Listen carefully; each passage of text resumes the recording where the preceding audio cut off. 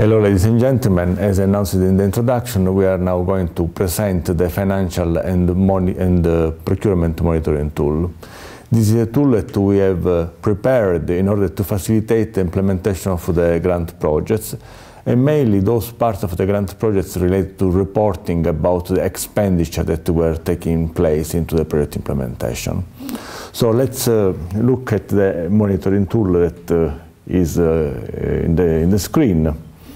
So it is articulated in several parts. Uh,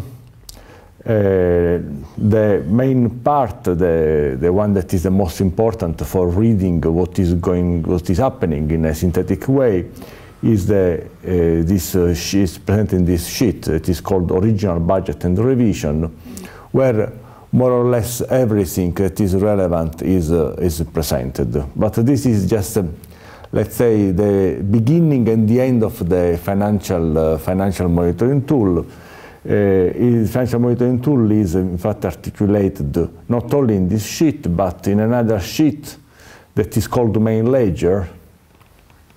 And in this main ledger, we are going to, uh,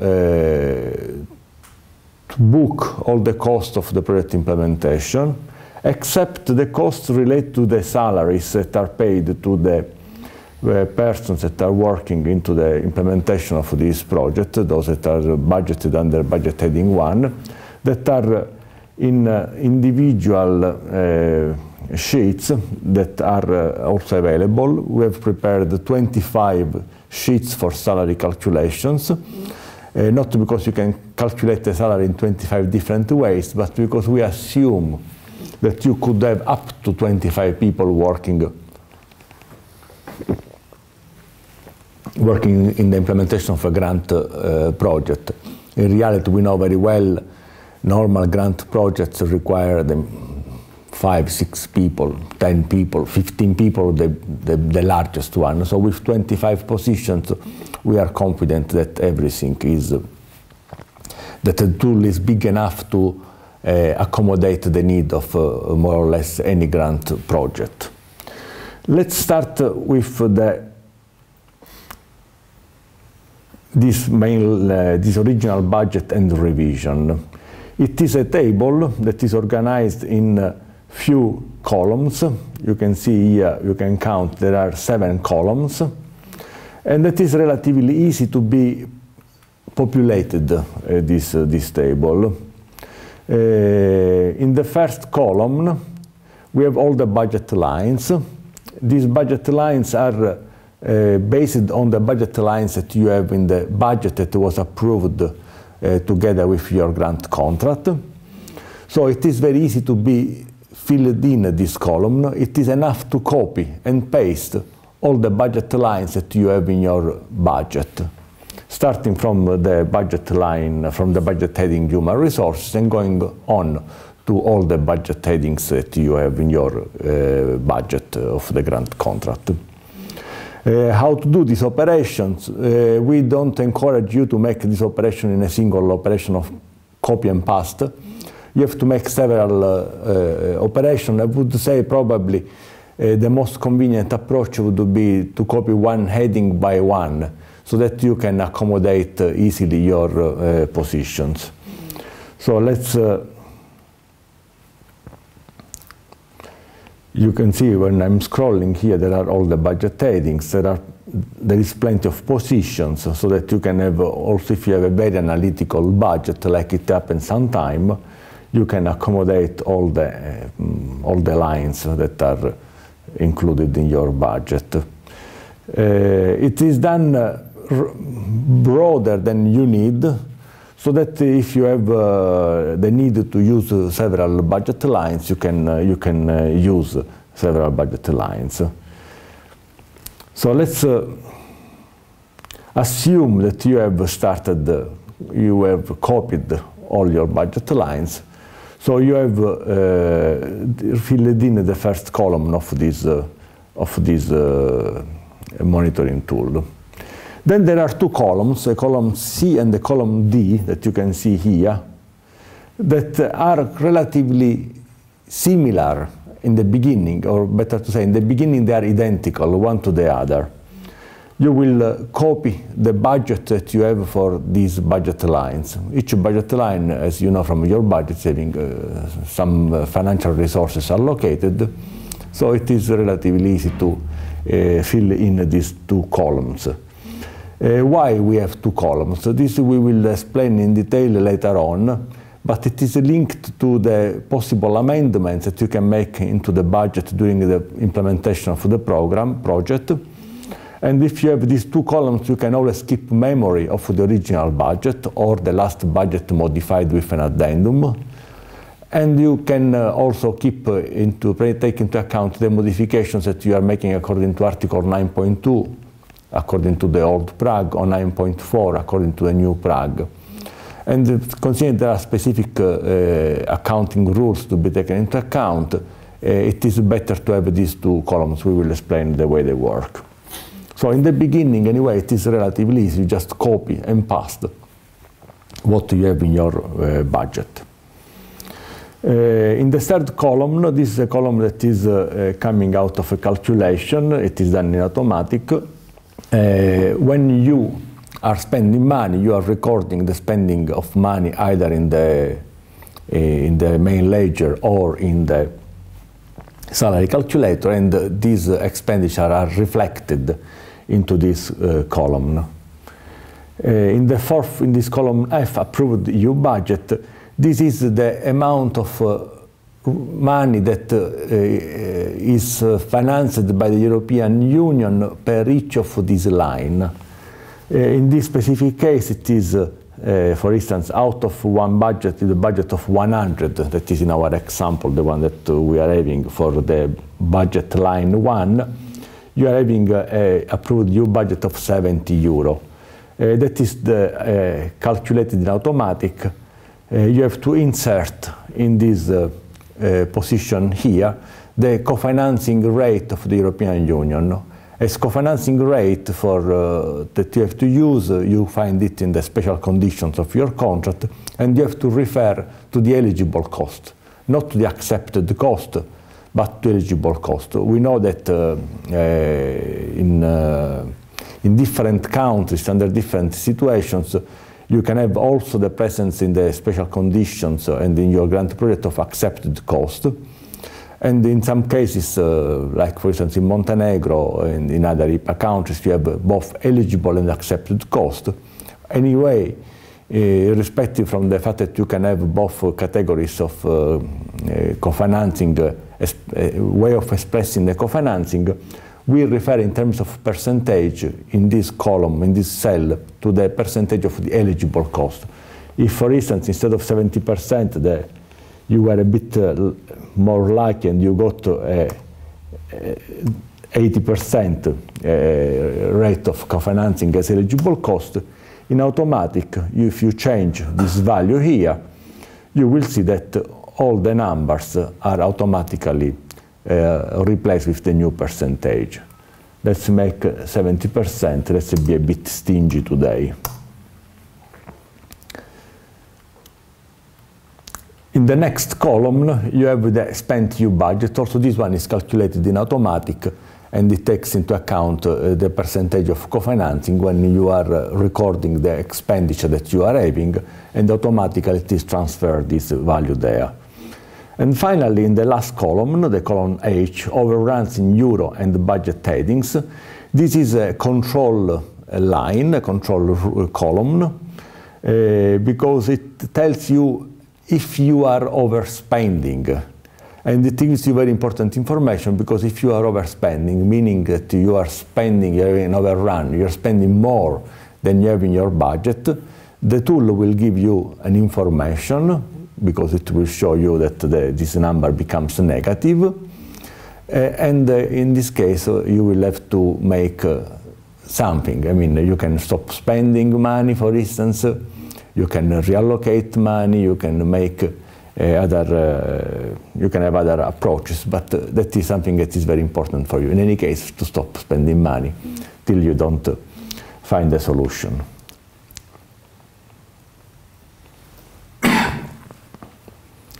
So this is the structure of the uh, original budget and revision. But in order to properly understand the way it works, it's better to make an example. Let's assume that the position number one in our budget we were copying is the project manager. Project manager Fabio Drago, that is me.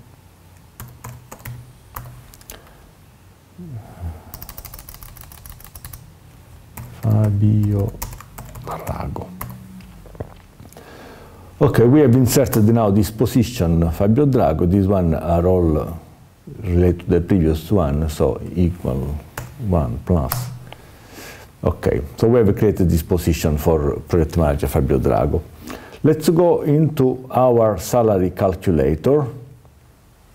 For the position number one, you will see that in automatic it is already recorded. This is the salary calculator for project manager Fabio Drago. It is written here.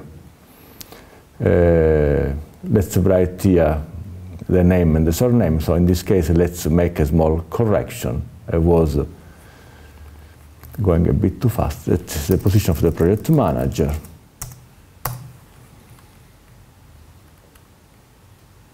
So the project manager, the name and surname of the project manager is Fabio Drago.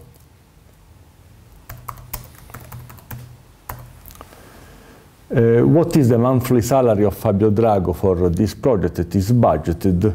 Let's put uh, a budgeted salary of, I don't know, 10 euro or 20 euro. Let's put 20 euro.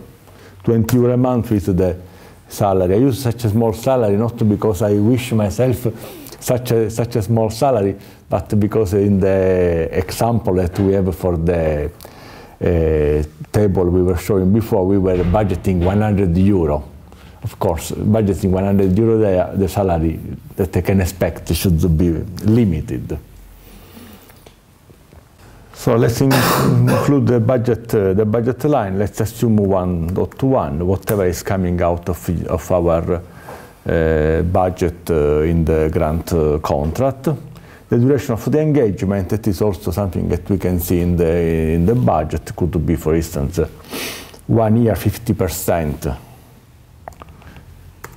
That is the equivalent one year 50%.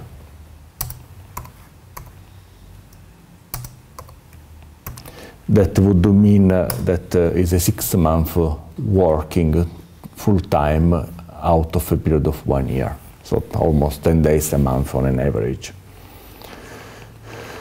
So what do we do with our uh, uh, salary calculator? This one that you see here, the budgeted salary, is the salary that we have budgeted. That is what we have budgeted as a monthly salary in, uh, in, our, uh, in our project. Let's make a small correction. Instead of one year, 10%, let's make 10 months, 10, 50%, because we have budgeted 100, so to be consistent, 10 months. 10 months, 50%, to be consistent with the budget of 100 that we have uh, there in the, in the other table. So what is our gross salary in reality? Because one is the budgeted gross salary and the other one is the real gross salary. I mean, in some cases, these two amounts are the same. That is happening very often with the NGOs. They are just budgeting exactly what, what is their salary. I mean, and they are having the flexibility that is required to keep this salary at that level, no more, no less, just that one. But uh, smaller organizations are able to do it. But other type of organizations are a bit more structured, like even larger NGOs or public administration, local public authorities, and so on and so forth. The calculation of the gross salary it's very it's very variable. Uh, every month is a bit different. So there is always a slight difference between what you have budgeted and what you are really paying to the employee. And this uh, difference can be of uh, diff different uh, sign. It can be that you have budgeted less than you are really paying, or that you have budgeted more than you are really paying. So it is important to have all this type of information in order to be able to book into the project the right amount that you can really book into the project and then ask as a, uh, part of the project implementation then to be co-financed by the European Union. Let's assume, for instance, that uh, I was paid for uh, my gross salary in this month, in the first month of, now we are in the month of, I don't know, December 2013. We would write here December 2013. December 2013.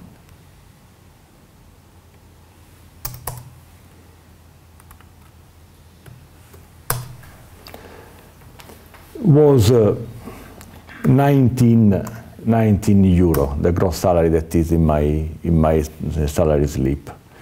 The net salary that is paid to me is the salary without social security and tax. And let's say that the social that is 15, 15 euro. So the difference between the gross salary and the net salary is of 4 euro. Well, but uh, this 4 euro difference has been paid to the social security uh, institution and to the tax authority or it has not been paid. That is also important element because you can ask from the European Union, you can book into your uh, grant contract, into your uh, uh, account, the accountability of your grant project. You can input uh, costs that have really been supported by the administration, by the grant beneficiary. You can't put costs that were not supported. We know that according to the general conditions, the payment of social security meaning the difference between the, the net, net salary and the gross salary, must be paid. It is obligatory that it is paid. However, it is not always the case. Uh, we have had the case in Montenegro, for instance, where the local authorities have negotiated some delay in these payments, quite substantial delay, and therefore they have the problem that the difference between the gross salary and the net salary is not really an eligible cost any longer. So this is an important aspect to be taken into account and the, this tool is addressing this specific problem too. Of course, we hope that uh, most of the countries, most of the grant beneficiaries, beneficiaries do not have this type of problem and that all the gross salary is really paid partially in the form of the net salary to the employee and partially to the institutions that are in charge of taxation, direct taxation and social security. Anyway, what would happen? Let's make the case that this is paid. So 4, four euro are paid. Uh, we don't have, uh, in this case, uh, the, all is paid. And that uh, I was working in this month for 10 days. So automatically the system is calculating my salary in 9.5 euro, and this is the salary that can be included as a cost into my into the project that is financed by the European Union. It is very important to look at this number, it is called control. If this number is not zero, evidently you made a mistake into the repartition of the cost. For instance, if we put here instead of 4, 2, you see in the control there is written 2 that is telling you there is a mistake because uh, this uh, is constructed to be equal to 0. So it could be that it is 2 here and 2 there, so it would be again 0, or that it is like uh, in our example that everything has been paid for. But what would happen if these 4 euro were not paid to the social security? Well, in this case, this 4 euro wouldn't be any more an eligible cost because they were not paid. So, and automatically your salary, or better to say my salary in this case, would drop from 9.5 euro to 7.5 to take into account that this payment was not, uh, was not taking place. In this case, the example uh, is done with a salary. We made this example with a salary that was less lower than the salary that was budgeted, because we say that the budget salary is 20 euro a month. In this case, we were calculating 19 euro a month. But what would happen if the salary that was really paid, instead of being 19 would be 21 euro, meaning uh, 1 euro more than what you have budgeted. and let's assume that uh, the netto salary is 17 and that uh, the difference is paid for Well, in this case, working for 10 days, that means working 50% of your time because we consider that on an average, an employee is working 20 days a month as an average because there are, we consider a couple of days a month are of holidays to be taken by the employee whenever he wants or she wants to. You can see that even if the salary that has been paid is uh, 21, you don't book into the project 10.5 euro because you were working you were working 50% of your time, but you book only 10 euro because there is a, a, clear limitation in the in the salary that is 20 euro a month. It is not more than 20 euro a month. So if you want to be very prudent in the calculation, you include only uh, uh, this amount in this uh, in this way, only for 10 euro. If of this, uh, this 4 euro of the social security again are not paid, the salary will be uh, depressed and uh, the calculation is giving you that you can input 8.1 euro. Here we have a, a macro that is uh, making all this calculation that automatically is selecting as a basis for calculation either the gross salary that has been paid or the gross salary that has been budgeted it takes the lower between the two of them and then it makes in automatic all these operations. Let's say that the use of this uh, salary calculator is uh, very useful because we know that uh, very often there are problems of calculation. We know that there are a lot of irregularities in the calculation of the salaries. And uh, so in order to avoid problems in case of a control sometimes problems of minor importance, minor for minor amount of money. I mean, but uh, to be considered that you were uh, cheating or that you were uh, making an irregularity, it is not pleasant. So it is better to have a, technical uh, a tool that is helping you in this calculation. Very important is uh, number of working days as per time sheet. This is an important element. You know that you should always fill in uh, at the end of the month the timesheet of uh, what you have been doing for the project in that specific month. Uh, that is something that is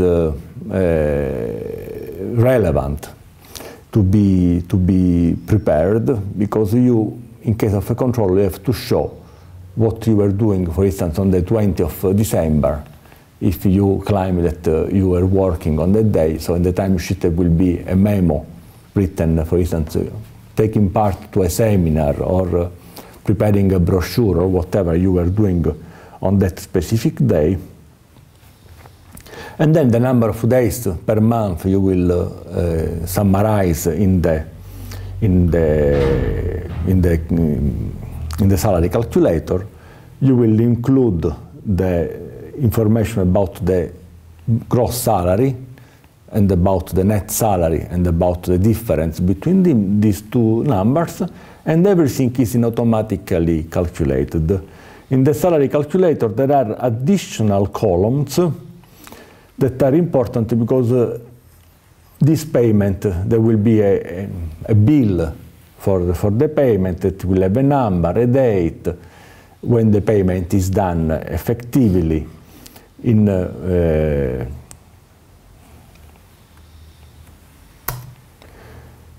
the currency, in this case it is in, in uh, uh, for the payment, in this case it is in euro. The, if, if, it is not in euro, you will have to include an exchange rate that you take from the info euro for the, the calculation for uh, changing from, for instance, pounds to, to euro, whatever it is.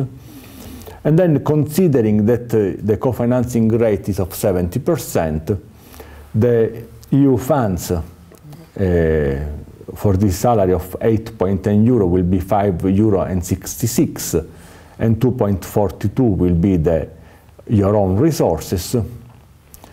And here you have all information about the accumulated paid salaries. Here we have uh, several uh, decimal. If we reduce to just to 2,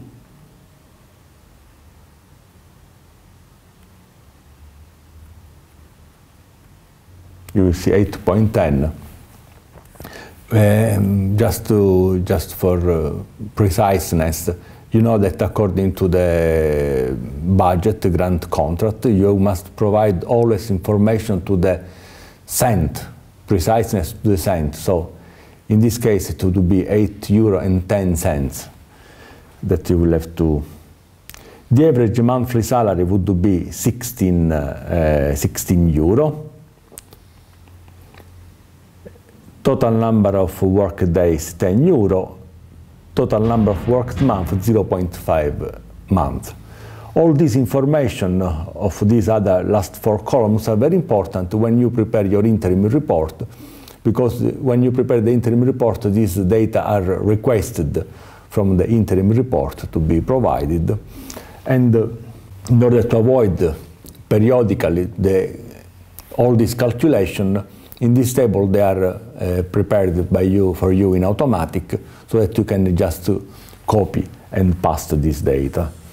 But uh, let's say, let's see uh, what was happening if we have had this expenditure for this, uh, uh, for this salary, what is happening in our original table, one that we were presenting before. As you can see, in automatic, we have uh, filled in our table. We said that we had a budget of 100 euro. We have paid to the project manager 8 euro and 10 and in automatic this year. And out of this 8 euro and 10, 5 euro and 67 are coming from the funds of the European Union. We have still uh, 91 euro and 90 cents to be spent, so we can go on without any problem in the implementation of this project. But let's make uh, as an example that instead of paying uh,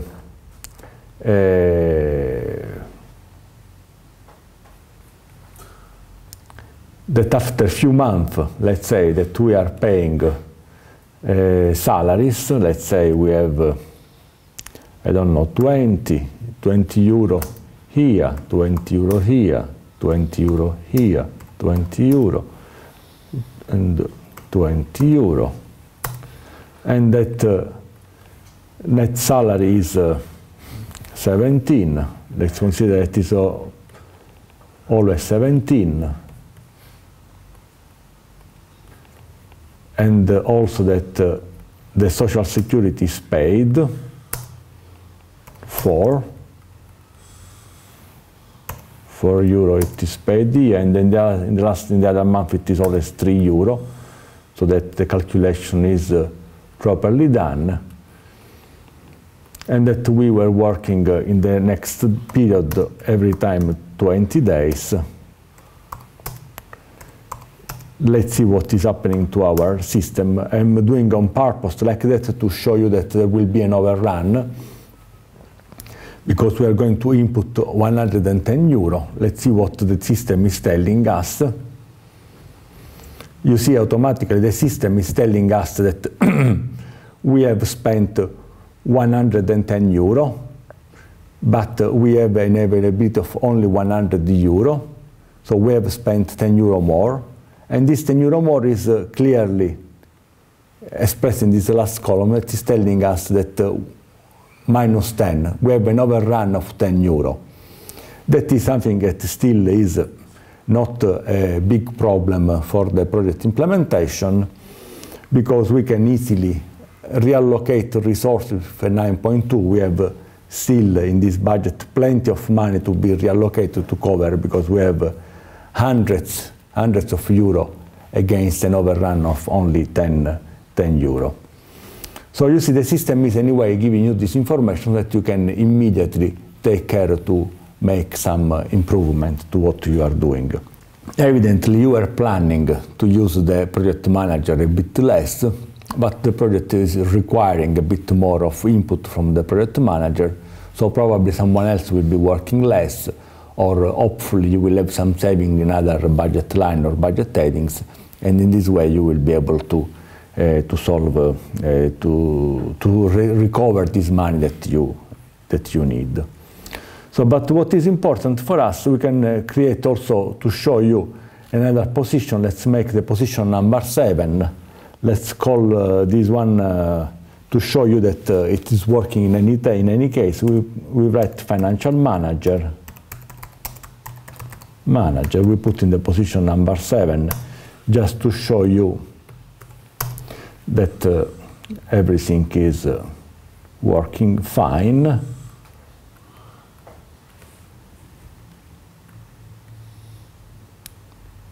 Position number seven, you will see in automatically, in automatic, here is a financial manager.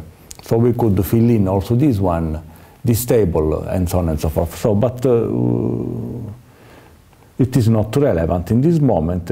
It's important for you just to remember that you have all these positions and that you can easily use them, them all. Let's now switch to the other part. So for all the human resources for what concern the salaries, they are all uh, uh, summarized into the salary calculator, and the salary calculator as a result, the number uh, of the, the value of the payment that have been done has been put in this, uh, in this table. And once it is put in this table, it is uh, available for your calculation. But we don't have in our project only salaries, we have also, or mainly, if you want to, we have mainly other type of expenditure. We have uh, seen uh, in the other presentation that we have uh, travel cost, we have supply, because we buy computers, tables, furniture, cars, machinery, whatever it's necessary for the implementation of the grant. We have cost for the offices, we have cost for services, we have cost for constructions, and so on and so forth. So we have any different type, different type of cost.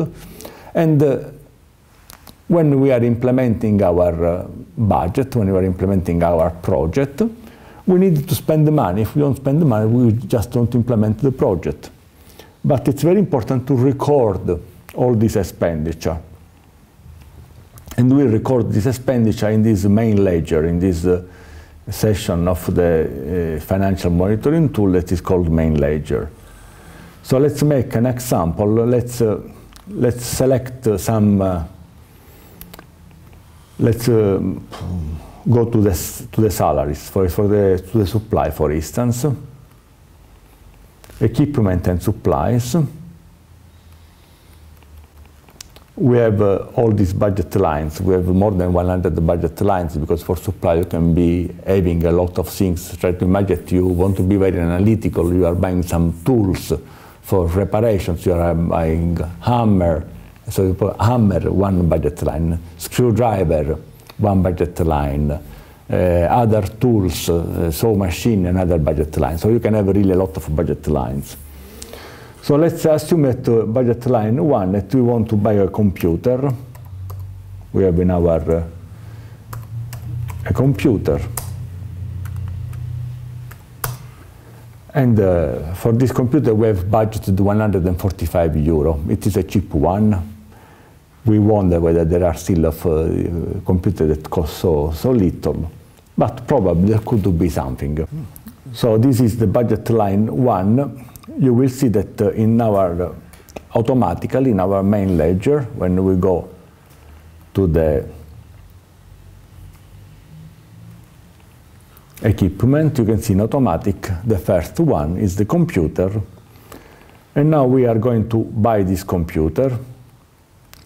We have uh, on top all the information that are required to fill in our, the description, the information about the invoice, the number of the invoice, the date, the name of the supplier, payment uh, for the payment because it is not said that when we receive the invoice is the same day we are making the payment. Probably for a computer could be that you go to the shop and you are just buying it.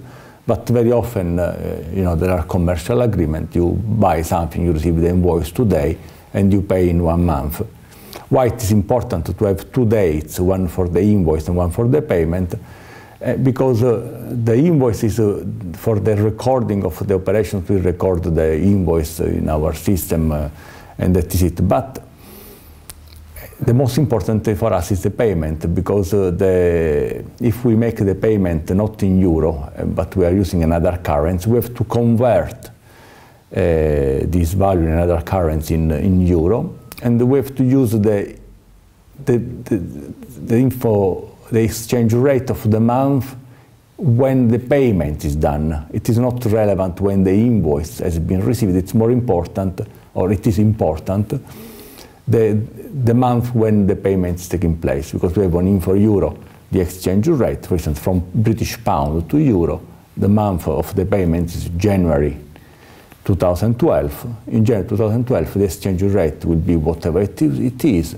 and that is the one that we are going to use here to make the conversion of the uh, cost of the computer into the in, from British pound to, uh, to euro.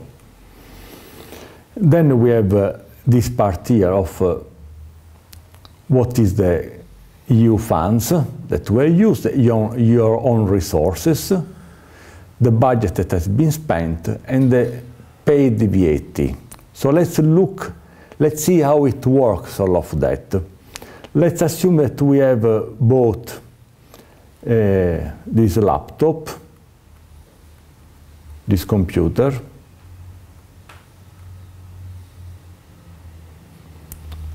and that we have paid, we have uh, the data or this data or this information here, and that we have paid for the computer 105 euro.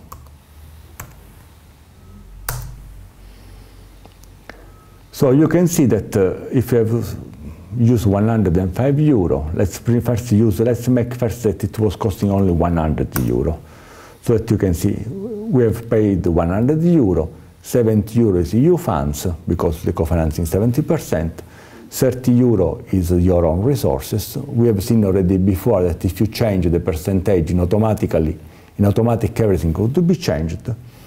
And the amount to be booked is 100 euro. However, we know that this is not completely correct. I mean, because if we paid 100 euro for the computer, most probably we were paying some VAT in this 100 euro.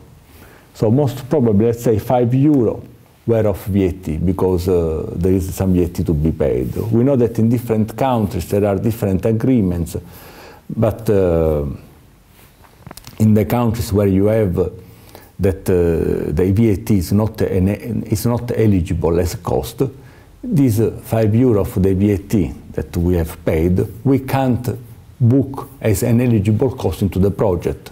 So we have to separate this 5 euro that you will see from your invoice, that will be written in your invoice, 95 euro for the uh, computer and 5 euro for the VAT. So 95 euro you can book into the project as a direct cost, it is eligible. The 5 euro of the VAT is not eligible. It can be, there are countries where the VAT is an eligible cost, but uh, these are a, a, minority of countries probably. Most of, very often, I mean, at least in the IPA countries, the VAT is not considered as, an, as eligible, a cost that is eligible. Uh, it can be accepted. If it is accepted, in this case, it, uh, as you know, it would go in the budget line 12. You have a budget line where the VAT can be covered. So what is happening in our accountability now, when we write that 5 euro is VAT, automatically you will see that the amount that you can book into the as spent money for the computer is 95, no longer 100 the co-financing from the European Union is 70%, but it is 70% of this 95 euro. and uh, the co-financing from the from the grant beneficiary is 30% of 95, plus these five that have been that have been spent for the VAT that we have to see what is going to happen to these 5 euro. If instead of 100 we had spent 105, for instance, and the VAT was going to be 5, 100 was going to be the spent, 70 is a budget uh, from the European Union, 30 the one of your own resources. This 5 euro, we said that could be considered an accepted cost. In this case, the tool would take it into account that there is this 5 euro that are accepted. And in fact, if we go back to our original budget, you can see that uh, we have uh, a summary information that we have 145 euro. We have spent 100 euro. Out of these 100 euro, 70 euro is uh, is for uh, the European uh, is from the European Union. Let me check.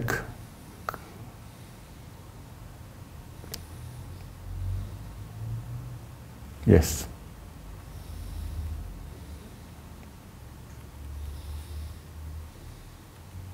So 145, 100 euro is what we have spent, 101 euro was the EU co-financing of this 145 euro, 70%.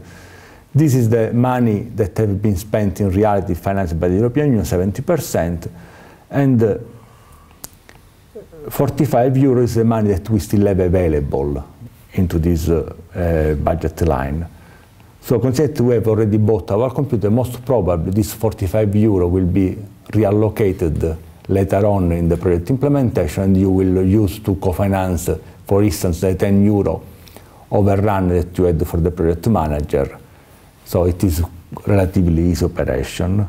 But we were also having uh, an additional 5 euro spent for the VAT. And also this 5 euro we will find in our system that is based on the assumption that we have uh, a budget line 12 with the tax, with the VAT. In fact, you see here, you find this 5 euro of the VAT under the budget line 12 taxes, VAT, and that is going to be part of the accepted cost, and therefore it's going to be uh, also uh, this amount included in your accountability, in your relationship with the European Union. So in our example, for instance, the VAT that we can put in the budget line 12 is up to 2,321 euro. We have spent only five. Let's see whether we are going to spend more in the future, how much of this money is going to be absorbed.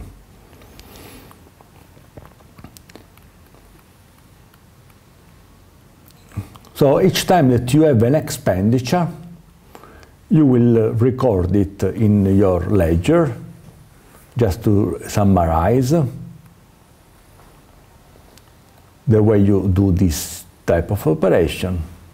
You will write a description, the information about the bill, the information about the payment, the currency, the InforEuro exchange rate if uh, necessary, if you have an operation that is not taking place in, uh, in euro, as it is happening in most of the, in most of the countries in the world, except in Montenegro, that is a, a happy country where they, there is the use of the euro, even if they are not in the eurozone. And then uh, in automatic, this information will be provided. And if you have paid any VAT, you will uh, include here the, the, the, the, the, the information payment. You will uh, include the VAT here, if there has been any VAT, and you will write down what is the amount of the VAT in this uh, column here. Uh, what is important, in my opinion, still to point out is something related to the uh, the way we prepare this uh, we said in the beginning that we are going to include all the budget lines and uh, the budgeted amounts. There is only one exception that we have to do, and this exception is for the administrative cost. We have one part that is uh, expressed in terms of administrative cost, maximum 7%. In this case, we are not going to include a number. I mean, we're going to include a number, but more than including a number, we're going to include a percentage, because the administrative cost, for instance, in our budget, we have a budget of direct cost of 100 euro, and then we have administrative cost of 5%. This 5% that is 5 euro is uh, a resource that is available if you spend 100 euro because that is the way it is constructed in the budget of the grant project. But if you don't spend 100 euro, but you spend only 50 euro, this administrative cost will be still 5% of 5, 50 euro, so it would be 25. 25 euro. So for that reason, while in all the other, uh, all the budget lines we include numbers, 100 euro, 200 euro, whatever it is, in the case of the administrative expenditure, we include a percentage of the direct cost, so that we can always keep under control that our, ex, uh, our uh, administrative expenditure are progressing to certain extent, to certain extent, because we will see later on when we will uh, present the procurement monitoring tool that sometimes the administrative expenditure are done earlier, even if they shouldn't, but uh, it happens that they are taking place in an earlier phase of the project implementation.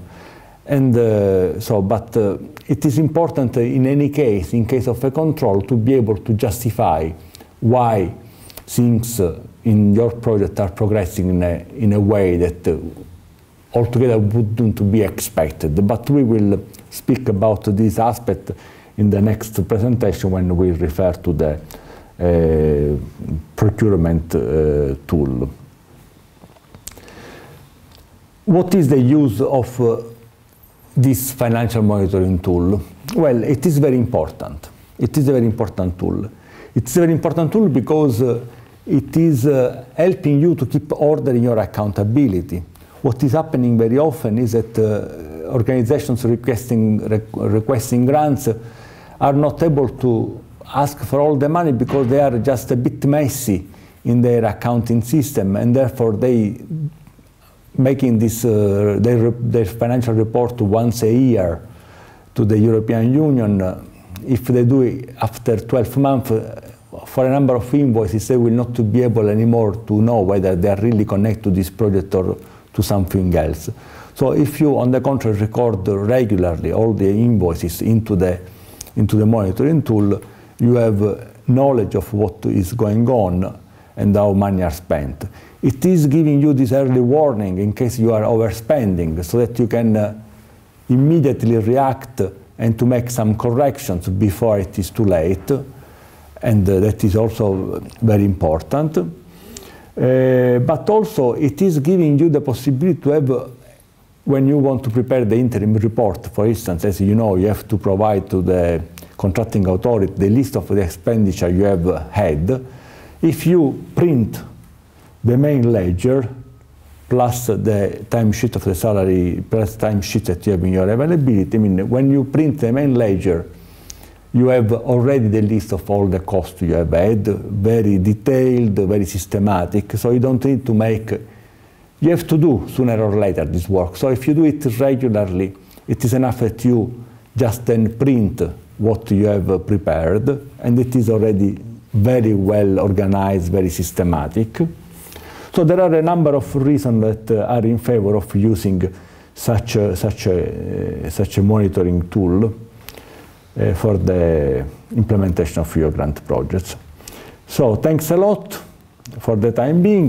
This is uh, what I want to convey as a message. There is, uh, of course, uh, available. You can request the, the Excel sheet that you can use to make this Eh, the financial monitoring tool for your own project. And there is also a manual that we have prepared where the use of the tool is explained so that you have not only this presentation as a reference material, but you have also a written presentation plus the, the Excel sheet. Thanks a lot for your attention, and we will continue soon with another presentation about the procurement monitoring tool. Thank you again.